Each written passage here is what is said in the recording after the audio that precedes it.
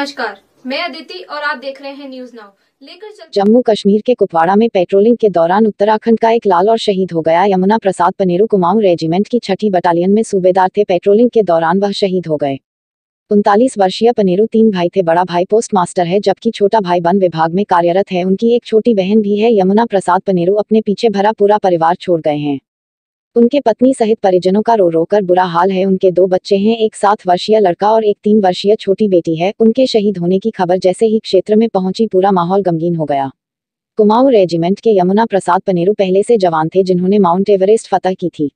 वहीं शहीद होने की खबर सुनकर भीमताल विधायक राम सिंह खेड़ा उनके गोरा पड़ाव स्थित आवास पर पहुँचे और दुखी परिवार को सांत्वना दी। उन्होंने इसे देश ही नहीं, उत्तराखंड के लिए भी एक अपूरणीय क्षति बताया है। हमारा उत्तराखंड का ओखलकांडा का एक सबका कलेजा का टुकड़ा यमुना पनेरू शहीद हुआ है और मैं, मेरे गाँव का ही है, मेरे ओखलकांडा गाँव का है और पूरा ओखलकांडा ब्लॉक, पूरा भीमताल विधानसभा क्षेत्र और पूरा उत्तराखंड आज गमगीन है कि जो हमारे यमुना ने देश के लिए अपने को कुर्बान किया है, अपने को आज उसके शहीद होने की वजह से पूरा हम लोग सब गमगीन हैं।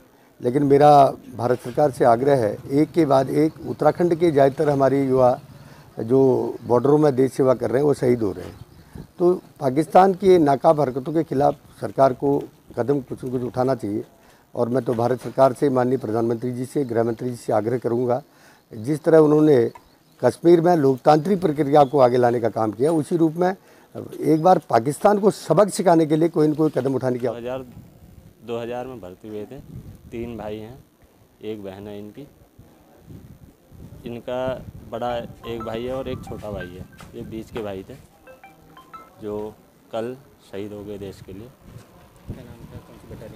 ये शिक्षु कुमाऊं रेजिमेंट में थे और ये सूबेदार के पद पर थे अभी प्रजेंट में। नाम क्या है इनका नाम है यमुना प्रसाद पनेरू। लगभग कितनी उम्र रही है उम्र इनकी अभी थर्टी एट समथिंग है।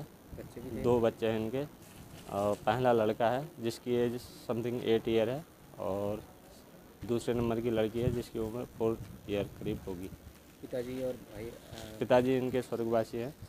वो भी 2002 में